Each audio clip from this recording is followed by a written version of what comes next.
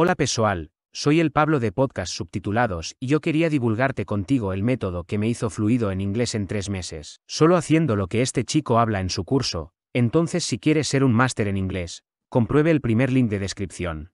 Gary's here because not only is he a very good friend of mine and a dear friend, and I love the guy to death, but we actually worked together Yes, we did. at, Nic- at Several times. at Nickelodeon yes. on two cartoons. We worked for the blimp.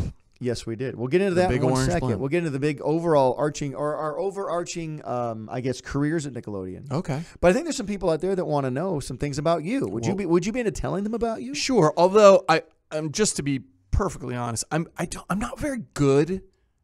I know it's At what? weird. Knitting? At talking uh, knitting. At dancing? Yeah, about Uh, there's a whole list of things you're not good at. that I, I could give that. I'm not list. good at staying on podcasts. Bye bye. uh, Being a friend. no, like me, talking Jerry. about like talking about myself. Like I know that seems weird. Like you think most actors are like they just want to Mm-hmm. constantly talk about themselves. right, but Right. I'm not. I'm not that You're way. not just. You're not just. like I want to talk about funny stuff. Right. But So then when it gets into out, like, right? let's We talk about you, I get a little like, eh, like I had a general meeting over at NBC like uh, two days ago, Okay. and she was like, "Well, tell me about yourself." What's I was in- like, "Nah, tell me about yourself."